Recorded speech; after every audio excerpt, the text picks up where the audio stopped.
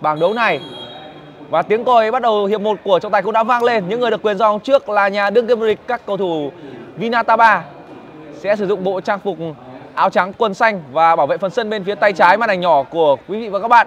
8 trước các cầu thủ FC Ba Vì.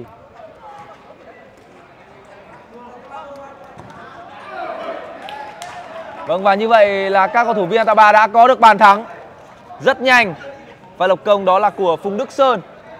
Khi mà chúng tôi chưa kịp định hình chuyện gì đã xảy ra thì Vientaba đã có được bàn thắng vượt lên. Đó là dấu ấn và đẳng cấp của nhà đương kim vô địch.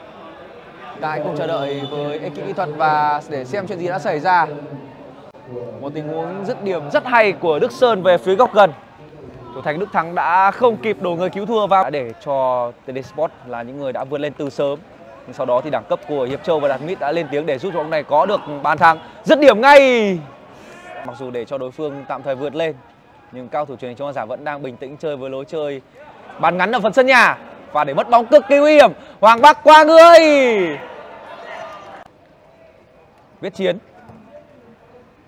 Cú thả tốt dành cho Phạm Văn Long. Chồng biên với Viết Chiến. Quả tạt hơi mạnh vào phía trong. Khá nguy hiểm nhưng vẫn có bàn thắng thứ hai dành cho cao thủ truyền hình chống hàng giả và đó là tình huống đốt lưới nhà của Quang Huy. Sự thay đổi người của Hải Bạc chưa thể mang tới hiệu quả thì đã phải trả giá. Với một tình huống mà Quang Huy lùi về và lóng ngóng đá bóng vào gôn. 2-0 dành cho Vinataba. Đánh đầu rất nguy hiểm. Thiếu chút nữa thì có bàn thắng thứ ba dành cho các cầu thủ Vinataba. Một cai win. Thì cũng phật dài cực kỳ đáng sợ của một cai win. Vị trí hậu vệ cánh trái nghịch chân của trước đó là Văn Kết hay bây giờ là Quang Huy đều đang bị khai thác một cách triệt để. Tạ Trần Trung vẫn không có bàn thắng. Lý có thể mang tới được bàn thắng. Hiệp Châu vẫn là bóng dành cho Vinataba vào lúc này. Hoàng Bắc trận đấu giữa Hải Anh và Tô Hiệu đang diễn ra khá hấp dẫn vào lúc này. Tạ Trần Trung, cái người ấn tượng nhưng đáng tiếc cú quắt chân trái vừa rồi vẫn không đủ để có thể đánh bại được Mộng Cai Queen.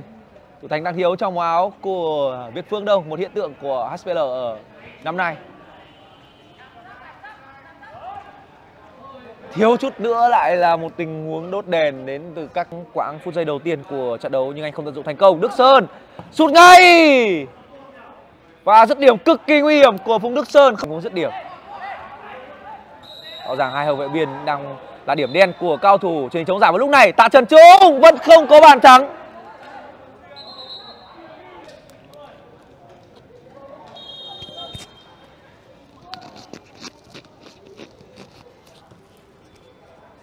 Vâng quý vị khán giả truyền hình thân mến, sau 2 phút nghỉ giải lao chúng ta sẽ tiếp tục trở lại với những diễn biến ở trong hiệp thiếu thứ hai.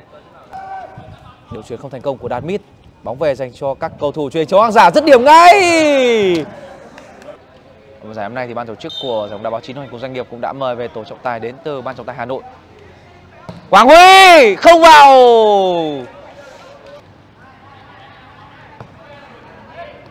Khoảng trống, sút ngay Thêm một cú đá nữa Nhưng Văn Thắng đang làm rất tốt nhiệm vụ của mình.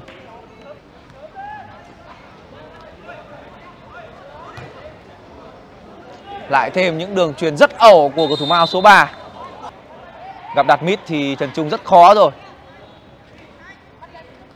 Quá người Đình Đức đã bị vặn sườn. Mạnh Linh Mạnh Linh đảo chân, Cơ hội! Lưới của thủ thành Văn Thắng tiếp tục rung lên lần thứ ba ở trận đấu ngày hôm nay. Và xử lý của Mạnh Linh mà chúng ta cứ ngỡ là Hiệp Châu đang có mặt trên sân vậy. Vẫn là vóc dáng ấy, vẫn giống là, là đôi giày Papo 14 và vẫn là những tình huống đảo chân cực kỳ thanh thoát để vượt qua nốt Quang Huy trước khi dứt điểm nhẹ nhàng vào góc gần để khiến cho mảnh lưới của Văn Thắng đã phải rung lên. Thế nào cho đội hình của Lê Việt Hải Bạc với khả năng liên kết lối chơi, khả năng cầm nhịp của cầu thủ mang áo số 12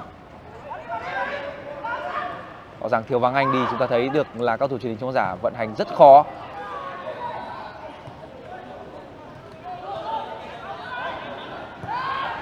Rất nguy hiểm và lại thêm một bàn thắng nữa dành cho các cầu thủ Vinataba những hy vọng có điểm gần như đã không còn ở trong trận đấu này với các cầu thủ truyền chống hàng giả nữa rồi. Dường như đó vẫn là pha lập công của Đức Sơn một tình huống dứt điểm rất dễ dàng và không thành trống khi mà thủ thành Văn Thắng cũng đã bỏ gôn và dâng cao. Đây rồi, Trần Huy Đình Đức. Lại thêm một đường truyền sai nữa và cơ hội dành cho Vinataba không vào.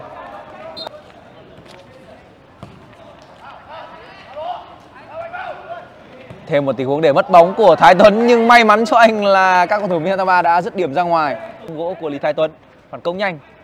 Vẫn tiếp tục là những đường truyền sai ngày hôm nay bên cạnh viết chiến đá tệ thì còn có cả văn kết nữa. Phạm văn long.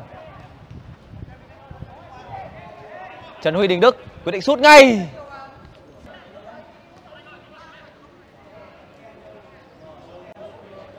Thì có một bóng tương đối nguy hiểm. Cơ hội của đá vẫn không đi vào cầu môn.